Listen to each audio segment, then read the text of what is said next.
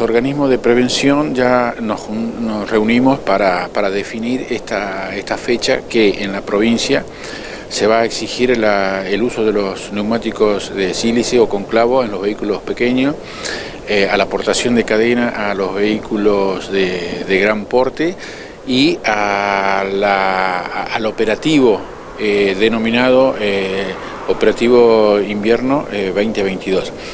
Esto significa de que cada una de, de las instituciones va a activar algunas acciones que tienen que ver con personal destinados en la ruta, horarios, puestos, agregar puestos y más que nada la coordinación eh, de, todos a través de la, comunicación que tiene que ver o que maneja eh, Defensa Civil de la, de la provincia.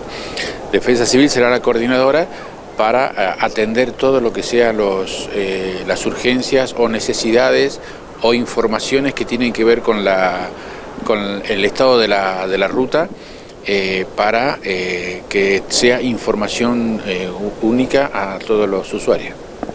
¿El vecino qué recaudos tiene que tener para saber si las cubiertas que tiene de invierno todavía están aptas para una nueva temporada? Bueno, tenemos que, sabemos que la, ley número uno de todo esto tiene que ver con el estado del vehículo y el estado de los neumáticos. Eh, al momento de adquirirla eh, se aconseja que tienen que ser exclusivamente los neumáticos homologados.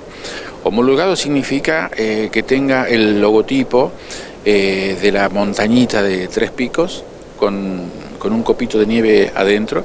Eso es homologado al momento de comprarla. Eh, eso es lo, primero.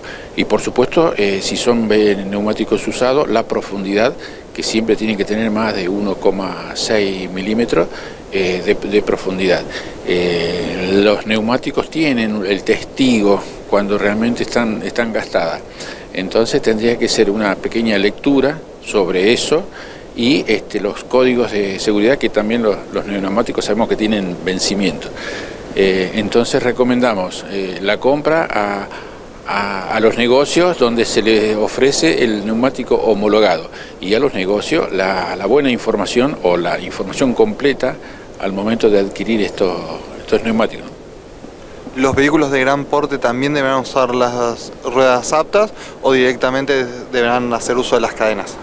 Bueno, los de gran porte, ya sean eh, ómnibus o los de transporte de carga, eh, deben usar cadenas, porque normalmente no tiene, no hay este, de, sílice para esos tipos de vehículos. Entonces la portación eh, en, todo momento para ser colocadas las cadenas en, eh, en el momento oportuno. En esta oportunidad la Dirección Operativa de Río Grande ya coordina con Gendarmería y CNRT los vehículos que ingresan a la provincia, en donde en la zona de este, en, la zona de límites, en, la frontera, ya se están eh, indicando que en nuestra provincia es exigencia de la aportación de estos elementos.